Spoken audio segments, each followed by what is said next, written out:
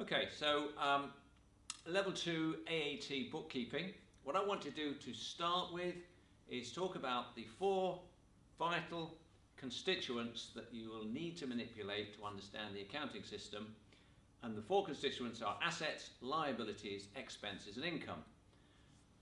So, what is an asset? An asset, well, I've got a list up here, um, and I've divided the list of assets into two categories non-current, the top three examples, and current. Non-current means of a permanent nature, used in the business, typically for more than a year. Current means assets um, that are turning over on a more regular basis, which are in the business for less than a year. So my non-current asset examples are land, buildings and vehicles, which the business uses, and my current asset examples are closing inventory, stock that you have in the asset in the uh, warehouse at the end of the year, uh, receivables, receivables or otherwise known as debtors, uh, meaning uh, amounts owed to the business to us when we've made a sale. So the sale may have been for whatever amount of money, we'll wait for say 30 days before we get the money. Before we get the money, we call it a receivable. Once we get the money, it's in the bank. Bank being another current asset. So they're the current assets. So an asset um, you can see as some kind of resource uh, that the business controls and that's going to produce some benefit for the business. Okay, so think of an asset in that way. It can be owned, uh, assets are usually owned, but the key word is that they are controlled by the business. Um, expenses. Uh, expenses, uh, examples I've given you are wages, repairs, typical expenses of a business, purchases. Uh, a purchase uh, has a specific meaning uh, in bookkeeping. Uh, purchases usually refer to the expense of buying our inventory for resale.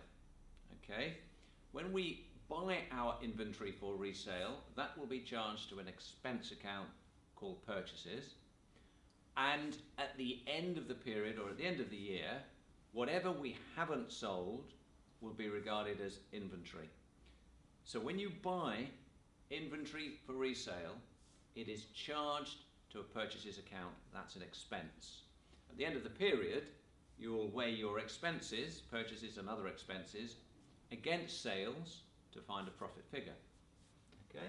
Other expenses, uh, opening inventory. I'll explain a little bit more about why opening inventory is an expense later.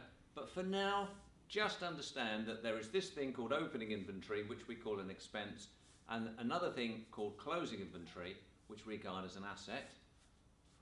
Discounts allowed um, is the expense of allowing our customers to pay us a bit less to knock off our sales price. You can see how that would be an expense.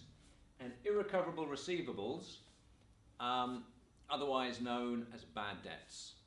Okay, irrecoverable receivables is where you, you don't actually receive what you thought you were going to receive from your credit customers. Um, so a credit customer owed me, let's say, £900. I would have shown a receivable at £900. Suddenly, uh, they've gone into liquidation. I'm not going to receive the £900. I have to write that off. That would be an expense called irrecoverable receivables. So there are expenses. Uh, income, essentially, the main item of income uh, we call sales.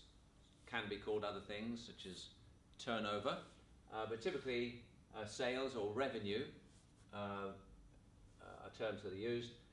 Sales, if I'm selling books, sales is the gross income that I get from selling those books. If I sell a book for £10, the sales value of the book is £10, all of my various expenses will be deducted from that £10 to find a profit figure, which we'll come on to a bit later. And then liabilities. Liabilities are amounts that are owed. Think of a liability as an amount owed. The main two liabilities, which I've shown up there, there are others, but the main two. First of all, I've shown loan, loan being a non-current liability, typically, i.e. more than a year.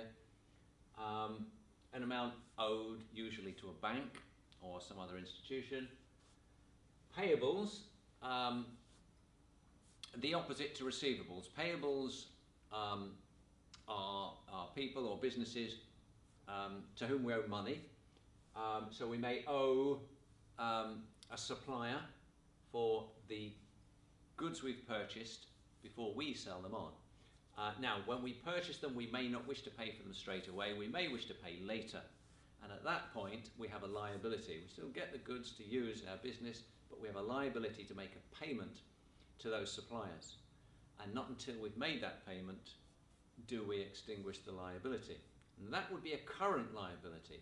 Payables would be a current liability because we hope to pay within 30, 60 days. That would be typical, um, typical amount of time to pay uh, an amount. Other current liabilities alongside payables could be things uh, like accruals. Accruals are for amounts we still owe for things like electricity, gas, water, that kind of thing, expenses. And the final liability, which um, is usually separated out in the financial records, is capital. So you can think of capital as the liability of the business to the owner. I'm thinking about a sole trader here. The liability of the business to the owner. So if the owner puts £100 into the business to start the business, the business owes the owner £100. Um, so that's capital. So those are the four basic constituent parts of, uh, of the bookkeeping system. And the next video will show how these start to knit together.